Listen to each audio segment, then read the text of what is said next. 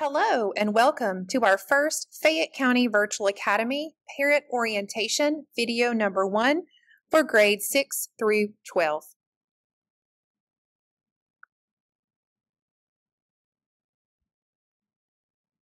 What is FCVA? Fayette County Virtual Academy is an innovative option for public education and one that we deem to be appropriate and necessary for Fayette County Public Schools. This option is 100% online and will provide a year-long opportunity for pre-K through 12 students from September until May. Enrolling in FCVA is free of charge. Daily routines and instruction will take place virtually and will allow students to work from home while using a computer or tablet to participate in instruction. At the end of each semester, FCVA students will have the option to attend in person if they so choose. This will cause the student to possibly have a different teacher and maybe a different schedule. Our mission and vision at Fayette County Virtual Academy will be to focus on meeting the unique needs of our diverse students, preparing them for college or career in the 21st century through high quality instruction in our virtual platform. Enrollment for Fayette County Virtual Academy was on July 31st through August 5th. A second enrollment was offered on August 17th through the 21st. Enrollment in FCVA was a separate enrollment, and it was not the same as registering your student for Fayette County Public Schools. Every student must be registered with Fayette County Public Schools before enrolling in FCVA. Enrollment was completed through a Google Link form at our website, www.fcsk12.net. A separate form was needed for each child. Once the enrollment form was completed, a student will be enrolled in FCVA for the first semester. After that, a student will have the option to attend in person or continue to remain in FCVA. Parents and students have already completed a consent form and parent-student compact to commit to each semester of FCVA.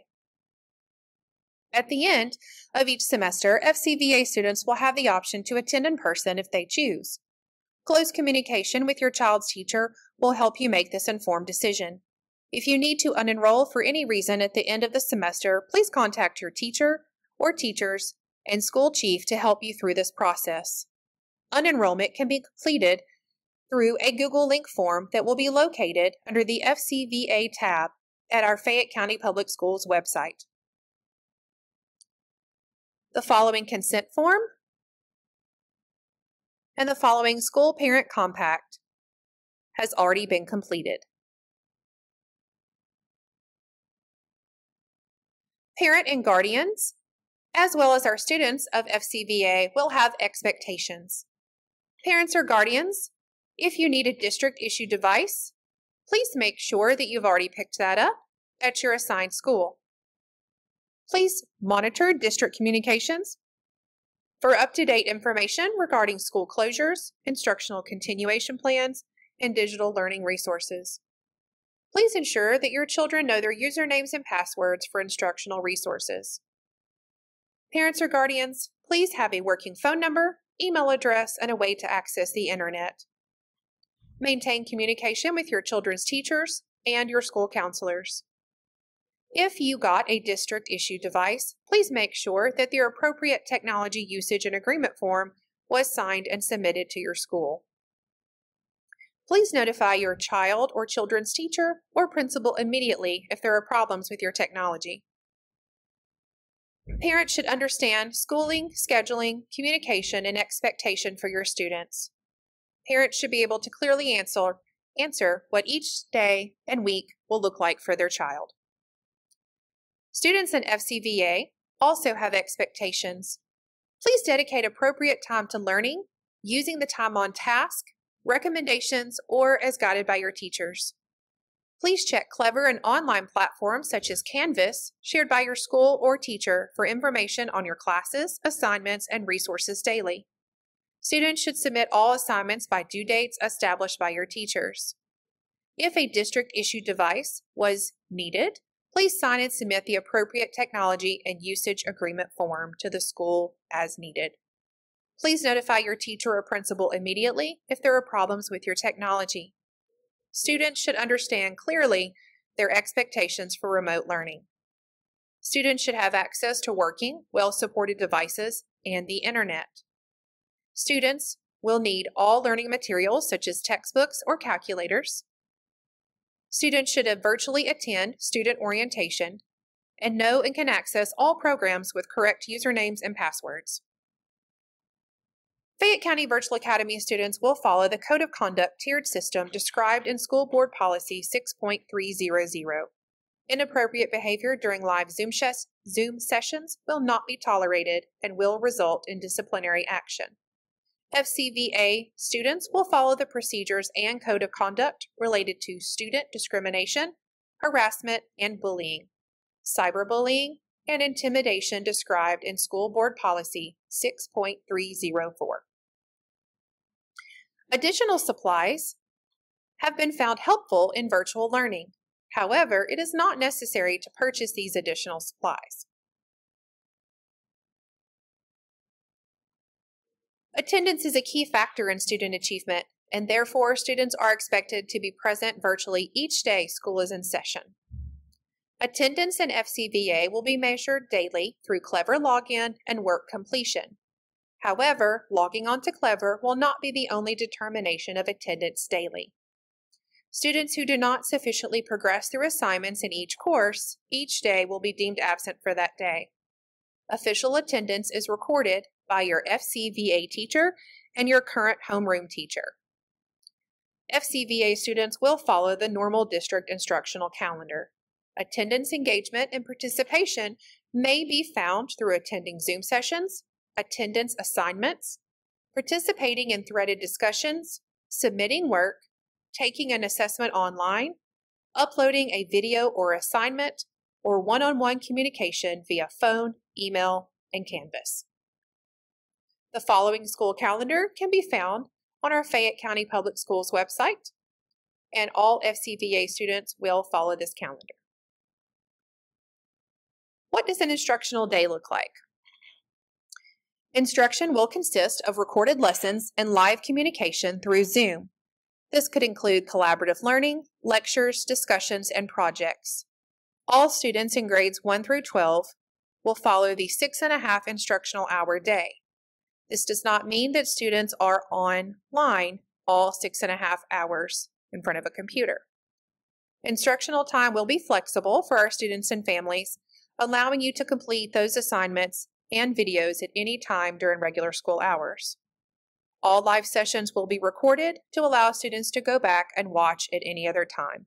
Teachers will upload an agenda with suggested student schedules weekly in Canvas to assist families in pacing and planning their student work. Students will have access to digital online learning materials and instructional activities to remain engaged in their 2020-21 school year. All secondary students will access their learning materials through our Learning Management Program, Canvas, in subject areas that will provide all the materials required for sustaining a student's academic preparation in essential learning areas. All direct instruction will be delivered through Canvas, as well as pre-recorded videos made available through Canvas. Students will also get access to digital district textbooks and supplemental materials, and a textbook pickup will be designated an additional later time. All secondary students will also receive additional support from another teacher in their school building in their assigned subject area. If your child receives any special services, such as an IEP, gifted ELL, or 504, they will receive their great content knowledge from their teacher of record and continue to receive their remediation or enrichment through their special education teacher, currently in their school. Students with disabilities will not receive the optimal learning experience through the virtual classroom due to the need of hands-on activities and intense intervention. However, any student with an IEP or 504 who normally participates in mainstream classes in a traditional school setting will utilize the same learning option that the rest of the district is using. Some of the lessons will be recorded and uploaded in Canvas to allow flexibility in parent scheduling.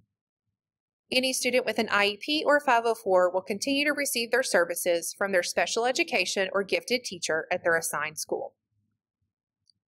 Families of Fayette County Virtual Academy should follow the following flowchart if any questions or concerns arise. Any students and parents, please contact your Fayette County Virtual Academy teacher or your liaison at your school if any questions or any needs arise. All chiefs of schools will work in conjunction with myself, Amelia Morrison, Chief of Virtual Academy, and we'll also work together with our Fayette County Virtual Academy academic team to solve any problems that arise. All required testing, which could include state or benchmark testing, will be done on a school site in person. The dates and times and social distancing procedures at these school sites will be determined at a later date. It is necessary that students have a laptop, Chromebook, desktop computer, iPad, or any device with a camera and microphone. If you have already received a district issued device, or you do in the future, it is essential that you stress the importance of taking care of that device. Students will be able to access their classes through Canvas. However, maintaining high-speed internet access throughout the school year is required. Students will continue to use their single sign-on on clever.com to access any instructional content. Students will use their assigned district email address to log in to any district device. It is of utmost importance that if you are experiencing a technical issue with your district issue device, that you do not take this device to any other tech or service provider for assistance or repair, as this will void your insurance policy. Please follow the support flowchart in order to get troubleshooting help. Each school will have a designated tech support specialist to assist you with any troubleshooting needs. You may visit our Fayette County Public Schools website under the FCVA tab and choose the appropriate link associated with your current assigned school, and the tech device support specialist will receive and respond to that ticket.